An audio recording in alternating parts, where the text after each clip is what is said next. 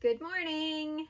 I wanted to make you a quick video about um, your new shears that you're going to be getting. I'm so excited for you. Uh, just a little video on maintenance, how to take care of them, how to hold them, that sort of thing. Um, I saw the picture you put on of Izzy the other day. Really, really nice job. She looked fantastic. Her coat looked really smooth and you're really doing a nice job. So, and I think the scissors will just, you know, be another part to that. Um, and I will tell you, since you're getting a Safranais, which is really exciting, um, they do have really nice coats. Um, all of the ones that I've seen are nice, thick, curly. Um, so I'm not sure what Izzy's coat is like, um, but the Safranais, you know, it's it's a lot of coat. So um, it's, you know, good that you're wanting to groom and you're getting all this stuff. And, um, you know, I think you'll be, you'll be, be ready for the challenge. So, um, so I have my seven inch curves here and my seven inch, uh, chunkers. and I'll talk to you a little bit about uh, maintenance. It's really important to keep these clean. And so I, uh, is just a paper towel, but I have Clorox wipes in the van when you can get them. Um, you know, that's usually what I use to wipe my blades down, uh, you know, at the end of the day. So when you're done grooming, um, just wipe them down because they will accumulate hair. Um, and I like the, I like the wipes because they just kill any germs, you know. And then um, keeping your blades or your shears oiled is really important. And you will get a little tube of oil um, I'm, I'm assuming uh, with your shears, but uh, when you go through that, you'll need to buy more. And like I've ordered this from the grooming places, but you can also go like to Joann's. Uh, they have little bottles of um, sewing machine oil. Um, I think that's what it's called.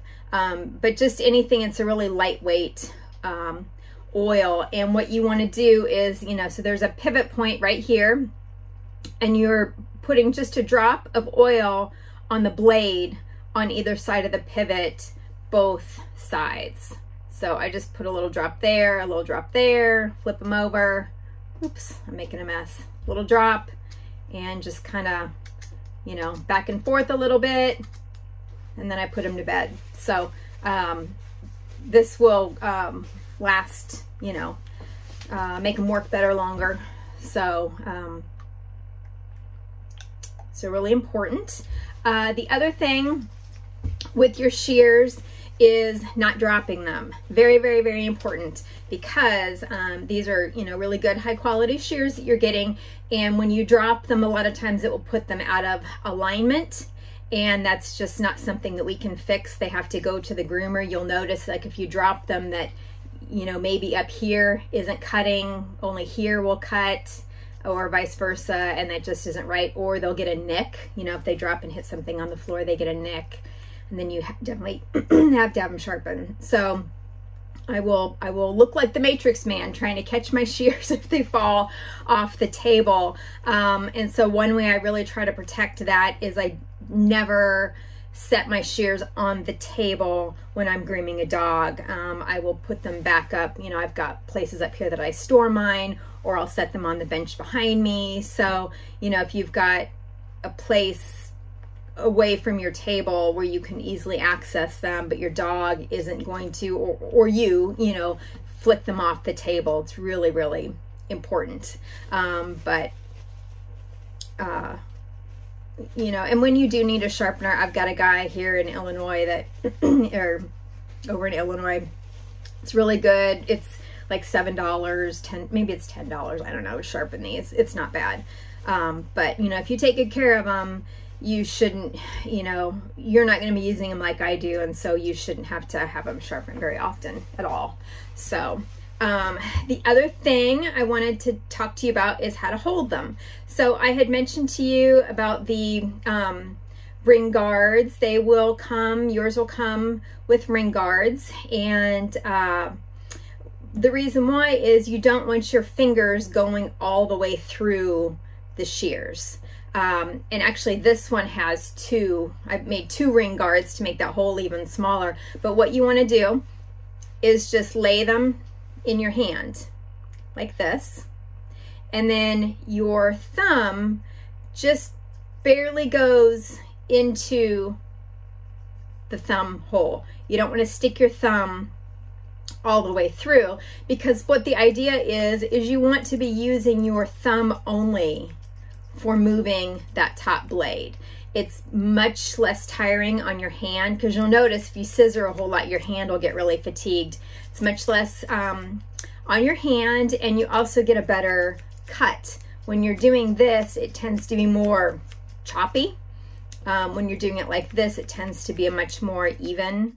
Uh, if you watch videos of um, really good groomers, um, they just move their thumb. So, um, you know, find a place where it fits good in your hand. And um, the reason why I like the loves, these are my nine inch loves that I use every day, um, is they have an offset shank. Um, some of them, um, like the, no, almost ev actually everything I have is offset just because my hands are small and it just fits better. So, um, so, you know, just kind of practice and it takes, it's taken me a long time to, and I'm not always perfect at it, but it's, it's taken me a long time to kind of get the hang of this. But, um, you know, your, your scissoring will be much better in the long run if you can do that. Um, I had something else I was going to tell. Oh, I know. Um, so tightening, when I get them back from the um, sharpener, a lot of times they just, they're way too tight, but you will have, so like on my loves, um, there is a little dial right here that you can tighten and loosen them. And the, the point when you, when you hold them and let them go, you just kind of want them to easily fall back. And see, they just don't always even touch. Um, you want a little bit of resistance, but not hard, and you don't want it so loose that it's just really floppy around. So, you know, you can kind of play with the style a little bit to see what is comfortable for you. So that's really, really important. I think all of my shears um, have that. And after you use them after a while, you know, they'll kind of loosen up and I need to tighten up again. But, you know, you just, you want a little bit of resistance in there. So I think that's about it. Uh, when you get your shears, if you need help with, um, you know, where to use them, that sort of thing, just let me know and I will make you another video. But I think you're really, really going to like them. Um, when you get your chunkers, uh, go easy with them. They, you know, are very aggressive. Not, you know, they're not going to make the straight line that the straight cut that the curves or the straights are going to. They're a little less forgiving, but, you know, they take out quite a bit of hair. So, but yeah, let me know if you have any questions. Bye.